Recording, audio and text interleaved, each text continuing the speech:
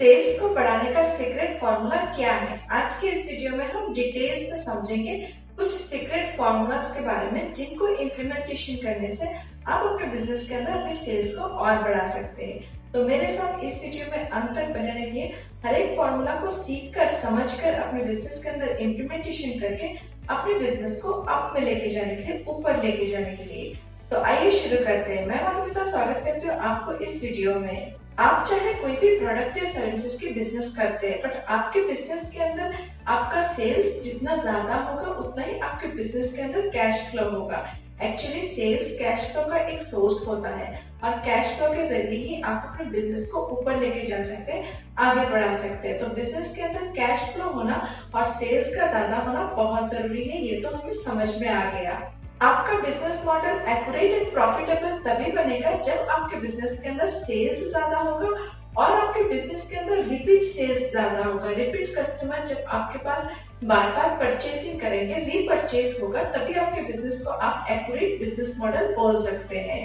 Sales को बढ़ाने के लिए इस वीडियो में हम कुछ सेल्स फॉर्मूला के बारे में डिटेल्स में विस्तार में बात करेंगे एक एक करके। तो हमारा फ़र्स्ट सेल्स टेक्निक है band sales technique B A N T band का फुल फॉर्म है B for budget A for authority N for need and T for timeline band का मकसद यही होता है कि यही पता लगाना है कि आप एट प्रेजेंट जिस कस्टमर को अप्रोच कर रहे हैं अपने प्रोडक्ट या सर्विसेज़ के लिए, वो कस्टमर आपके लिए काम का है या नहीं है? जब भी आप अपने किसी भी कस्टमर को अप्रोच कर रहे हैं अपने प्रोडक्ट या सर्विसेज़ के लिए तो उसमें आपको चार चीज़ों का, चार बातों का आपको ध्यान रखना बहुत ज़रूरी है। फ़र्स्ट, आपके कस्टमर की बजट है या नहीं है, आपके प्रोडक्ट या सर्विसेज़ को खरीदने की। अगर उसके पास बजट नहीं होगा तो वो आपके प्रोडक्ट या सर्विसेज़ को अफोर्ड नहीं कर पाएगा। सेकेंडली आपको ये चेक करना है कि क्या आपके टारगेटेड कस्टमर के पास वो अथॉरिटी है कि वो आपके प्रोडक्ट या सर्विस को खरीद सके।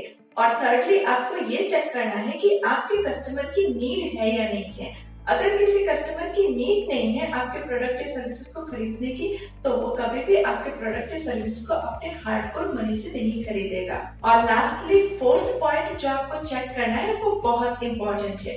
ये वो पॉइंट है जहाँ पे आपका कस्टमर आपका जो टारगेटेड प्रोस्पेक्ट है, वो आपके प्रोडक्ट या सर्विसेज़ को कब खरीदेगा। उसकी टाइमलाइन क्या है? वो कब तक आपके प्रोडक्ट या सर्विसेज़ को खरीदने की प्लानिंग कर रहा है? वो भी जानना बहुत ज़रूरी है। इन चार बातों का अगर आप ध्यान रखेंगे तो आप अपने टारगेटेड कस्टमर को अच्छे से आइडेंटिफाई कर सकते हैं कि कौन सा कस्टमर आपके लिए रियल है और किसको आपको ज़्यादा से ज़्यादा नर्चर करना है, ज़्यादा से ज़्यादा टाइम देना है।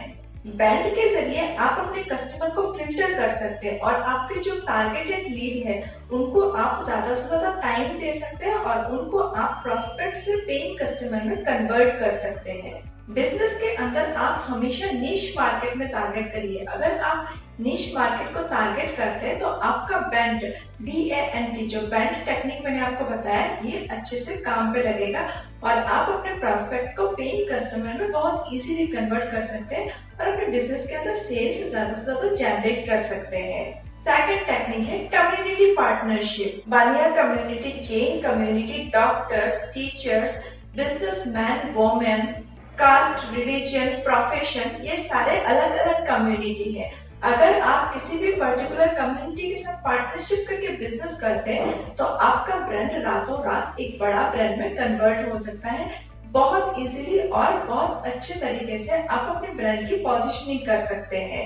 बड़े बड़े ब्रांड लाइक जोमेटो एप्पल ऐसे ब्रांड जो बड़े बड़े ब्रांड्स हैं और उनकी अच्छी खासी पॉजिशनिंग है मार्केट के अंदर वो भी आज के दौर में पार्टनरशिप कर रहे कम्युनिटी के साथ। और कम्युनिटी पार्टनरशिप के ज़रिए वो अपने ब्रांड को और ज़्यादा लोगों के साथ जुड़ रहे हैं।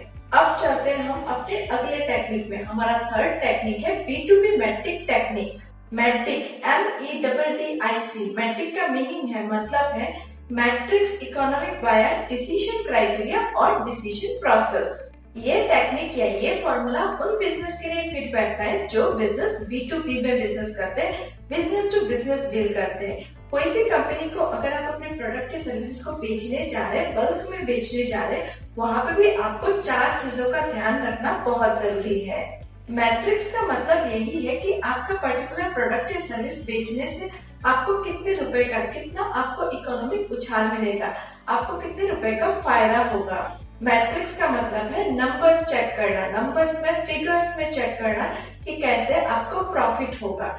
दूसरा चीज़, आपको कोई भी कंपनी को आपका प्रोडक्ट या सर्विस बेचने जा रहे तो वो चेक करना है कि उस पर्टिकुलर प्रोडक्ट या सर्विसेज़ को जो कंपनी खरीद रहा है, वहाँ पे आपके इकोनॉमिक बायर कौन है?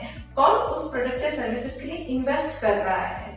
थर्ड ये चीज़ चेक करना है कि डिसीज़न क्राइटेरिया कैसे लिया जाता है। डिसीजंस कैसे लिया जाता है, कि वेंडर्स को कैसे चूज़ करना है, कौन से वेंडर्स को चूज़ करना है, कैसे कैसे क्राइटेरिया होंगे, उन क्राइटेरिया को आप फुलफिल कर पाएँगे या नहीं कर पाएँगे, इन चीज़ों को भी आपको ध्यान देना चाहिए। एंड फोर्थ जो चीज़ आपको ध्यान देना है, वो है डिसीशन प्रोसेस डिसीज़न प्रोसेस का मतलब है आपको ऐसे वेंडर चूज़ कर लिया गया कोई भी कंपनी के अंदर आपके प्रोडक्ट के सर्विसेज़ की सप्लाई के लिए। उसके बाद आपकी ऑनबोर्ड क्या प्रोसेसिंग होगी, एक वेंडर की ऑनबोर्ड प्रोसेस क्या होगा, उसको भी आपको ध्यान देना चाहिए कि उनकी प्रोसेसिंग में आप काम कर पाएँगे या नहीं कर पाएँगे। हमारा फोर्थ एंड लास्ट फॉर्मूला है MLM and direct sales MLM and direct sales अपने आप में एक बहुत ज़बरदस्त टेक्निक है। ये टेक्निक बहुत सारे कंपनीज़ आज के दौर में अपने बिज़नेस के अंदर इस मॉडल को आजमा रहे हैं। इस टेक्निक में चार लोग होते हैं। Idea man people man action man and process man idea man नई नई चीज़ें सोचता है इम्प्लीमेंटेशन में क्रिएटिविटी में काम करता है नई नई चीज़ों को इम्प्लीमेंटेशन करता है नई नई आइडियाज़ को बिज़नेस के अंदर इम्प्लीमेंटेशन करता है। वहीं पे पीपल मैन रिलेशनशिप बिल्ड करता है कस्टमर के साथ। ऑडियंस के साथ, लोगों के साथ, जो भी कस्टमर इन प्रोडक्ट के सर्विसेज़ को खरीदते हैं, उनके साथ एक रिलेशनशिप बिल्ड करने में पिपलमैन काम करता है। एक्शन मैन बहुत फुर्तीला होता है और वो चीज़ों को स्पीड में करता है। प्रोसेस मैन डाटा मेंटेनिंग में और सिस्टम वर्क में ज़्यादा से ज़्यादा अपना टाइम कंट्रीब्यूशन करता है।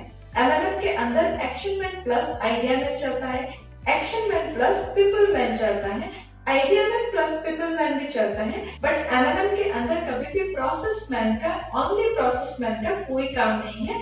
ओनली प्रोसेस मैन एमएलएम के अंदर किसी काम का नहीं है। एमएलएम के अंदर कॉल्स मीटिंग्स सेमिनार्स रीपर्चेसिंग में बहुत ज़्यादा काम करना पड़ता है, बहुत ज़्यादा एफर्ट देना पड़ता है। और एमएलएम के अंदर रिजेक्शन भी ज़्यादा से ज़्यादा सहना पड़ता है। अगर आप इन सब के लिए रेडी है तो आप अपने बिज़नेस मॉडल को एमएलएम में एंड डायरेक्ट सेल्स में कन्वर्ट कर सकते हैं। बट अगर आप सिर्फ़ सिस्टम वर्क को पसंद करते हैं, आप लोगों के साथ बात करना कम्युनिकेट करना पसंद नहीं करते तो आप अपने बिज़नेस मॉडल को कभी भी एमएलएम एंड डायरेक्ट सेल्स में कन्वर्ट ही नहीं कर सकते। आपकी कम्युनिकेशन स्किल्स जितना शार्प होगा, उतना ही आपका बिज़नेस मॉडल अगर एमएलएम एंड डायरेक्ट सेल्स में है तो वो प्रॉफिटेबल होगा। क्योंकि अगर आपको लोगों के साथ जुड़ने में रुचि है तभी आप अपने टीम को भी उनके साथ जुड़ने में ज़्यादा से ज़्यादा कस्टमर के साथ कम्युनिकेट करके उनको अपने बिज़नेस के अंदर जुड़ने में आपके प्रोडक्ट के सर्विसेज़ को यूज़ करने में मैनिपुलेट कर सकते हैं। अगर आप अपने बिज़नेस को एमएलएम एंड डायरेक्ट सेल्स में कन्वर्ट करते हैं तो अपने सेल्स टीम को, जो भी आपका टीम है, उनको उस तरह से ट्रेनिंग दीजिए कि वो अपने आप को सिर्फ़ एक सेल्स पर्सन ना सोचे। वो अपने आप को एक बिज़नेस मैन या बिज़नेस वोमैन के रूप में सोचे, तभी वो बिज़नेस के अंदर ज़्यादा से ज़्यादा सेल्स जनरेट कर सकते हैं, ज़्यादा से ज़्यादा लोगों से वो कम्युनिकेट भी कर सकते हैं और रीपर्चेसिंग में ज़्यादा से ज़्यादा वो इनिशिएटिव ले सकते हैं। एक बात हमेशा याद रखिए नेटवर्क मार्केटिंग में नेटवर्क पहले आता है और मार्केटिंग बाद में आता है। अगर आपके पास नेटवर्क है एमएलएम के अंदर डायरेक्ट सेल्स के अंदर, और वो नेटवर्क में रीपर्चेसिंग हो रहा है तो आपका बिज़नेस उड़ने से, आपके बिज़नेस के रॉकेट को उड़ने से कोई नहीं रोक सकता। तो अपने बिज़नेस को अगर आप एमएलएम डायरेक्ट सेल्स में कन्वर्ट कर रहे हैं तो सबसे पहले आप नेटवर्क बिल्डिंग में फोकस करिए और अपने टीम को भी सबसे पहले नेटवर्क बिल्डिंग में फोकस कराइए। अगर आपने नेटवर्क बिल्ड कर लिया तो आपका नेक्स्ट काम, जो आपका अगला काम है, जो आपकी सेल्स की काम है, वो अपने आप हो जाएगा। उस पर आपको ज़्यादा एफर्ट लगाने की कोशिश नहीं करने से भी चलेगा।